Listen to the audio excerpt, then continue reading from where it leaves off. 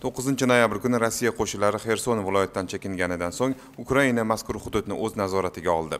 Xerson aholisi ukrainalik askarlarni katta xursandchilik bilan kutib olganini alohida ta'kidlash kerak.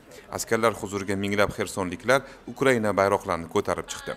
Holbuki joriy yilning sentyabr oyida xerson viloyatini rossiya tarkibiga qo'shilishi bo'yicha o'tkazilgan referendumda sakson foizdan ko'proq aholi bu qarorni qo'llab ovoz bergani haqida rossiya ommaviy axborot vositalari tomonidan ma'lum qilingandi. Xersondan chekinishdan avval rossiya qo'shinlari shaharda bir qancha infratuzilma obyektlarini portlatib yuborgani aniqlandi. Shunday bo'lsada xersonni qaytarib olinishi ukraina prezidenti vladimir zelenskiy tomonidan katta g'alaba sifatida qayd etildi.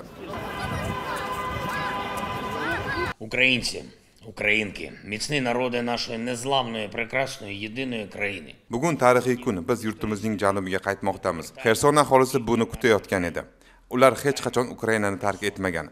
Ukrainaga bo'lgan umid har doim o'zini oqlaydi va ukraina har doim o'zinikini qaytarib oladi dedi zelenskiy video murojaatda. Xerson viloyatidan rossiya qo'shinlari olib chiqib ketilganidan so'ng u yerda to'rt yuzdan ortiq harbiy jinoyatlar hujjatlashtirildi. Ozod qilingan hududlarda ukraina huquq tartibot idoralari tomonidan tinch aholi va harbiylarning jasadlari topilmoqda. Yo'qotishlar katta bo'lgani bilan xersonning egallanishi ukraina armiyasiga katta ruhiy kuch berdi.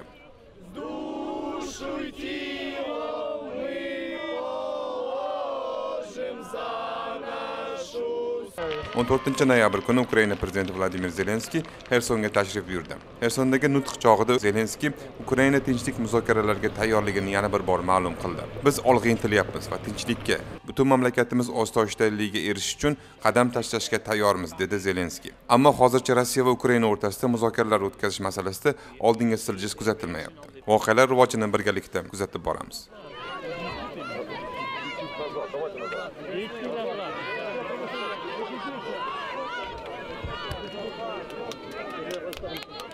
Героям слава!